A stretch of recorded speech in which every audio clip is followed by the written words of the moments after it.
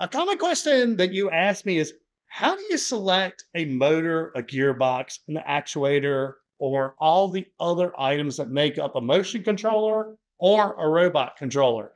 And this is where I think that YRG does the best job in the industry. So today I have Chris Elston with YRG to talk us through how do we select our motion control and robot components? Okay, so I think you hit the nail on the head with all the things that you said, Tim, and that was um, selecting the motor, the gearbox, and the mechanical system. That's the old school way of doing it.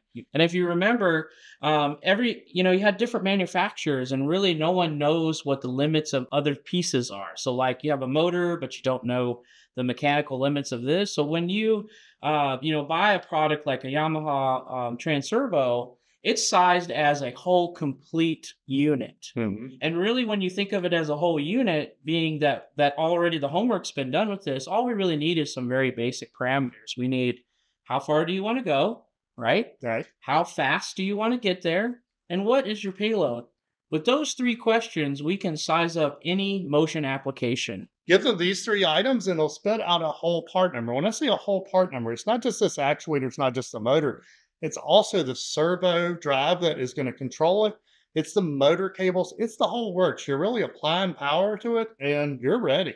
And that's the same way with the SCARA too. A SCARA operates on the same principles. You you have some object that you want to do work and it has it's it weighs a certain amount. And then you have so many products that you need to make. Like how many widgets do I need to make? A minute. And that's how fast you want to go. And then where do you need to pick up that object and place it? That's the distance. Which brings us into setting up your motor parameters, which is really so simple, but I thought that we needed to go ahead and go through it on the robot. So yeah, one of the things that I really appreciated coming from the PLC motion world when I started working for Yamaha is I really like the fact that payload is the highest parameter and and how Yamaha calculates motion. And really if you think about that that makes sense because yeah, I don't I don't really want to calculate accels, deaccels, jerks, and and those types of things. So if we just declare the payload in the controller, the controller already takes care of the tuning. There's no tuning that's required. It automatically scales down the accels and deaccels and jerk settings that you would traditionally set and say like a traditional servo motor. Those are all done automatically behind the scenes. One of the primary reasons why the the setting for the Yamaha is in payload is that's how Yamaha guarantees warranty and life of their product.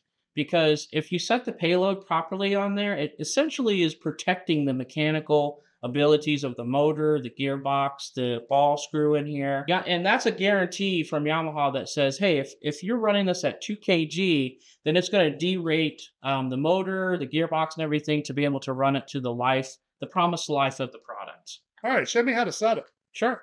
Now, if you're just jumping into this series with this video, in the previous one, we already configured our controller in RCX Studio, and we're going to pick up right there. So I think you're going to be pretty happy with how easy this is, Tim, to set the, the payload parameter in a SCARA robot. And where we're going to go is over here to the window tree area and find parameters. And uh, where the payload setting is at is under robot. Double click that, and you'll see that it's the very first uh, setting here, and you have a 500 XGL robot, which is cataloged at five kilogram capacity. Mm-hmm. And uh, every time a robot is shipped out of the Yamaha facility, it is set to the maximum payload. So we, we already looked at your tooling, Tim, and you have approximately a two kilogram uh, payload on your on your robot. So we need to set that to two kilograms. Okay. And uh, you'll notice that uh, at five kilograms, you'll see some settings down below. We can see change like the X and the Y accelerate, the X and the Y velocity rate for the SCARA has already been derated at, to 70%. Okay. Even though we're commanding the robot at 100% in, in the program world, it's derating it down to 70% because it's it's seeing a higher payload. So it needs to slow the robot down because it's got a lot of mass on the end of it. Okay? Mm-hmm. So we're going to go ahead and change your uh, your payload to 2 here. Super simple. Hit enter. You notice it turned red, so that means it hasn't accepted it yet. We got to go up and hit the save button. And when we hit save, you notice that, hey, at 2 kg, we get the full speed of the robot now. Oh, wow. Because one of the one of the cool things about Yamaha is 2 kg is 100% capacity of, of a SCARA robot on that. So. Okay, what's next on payload? Nothing. I see. That's it. Everything else is just automatically, Tim. I'm telling you. Well, that's why I keep telling you that when y'all ask that question, it's like, no, this this really is the easy way, which kind of leads into the next easy thing. Me being a PLC person, which how did y'all do it?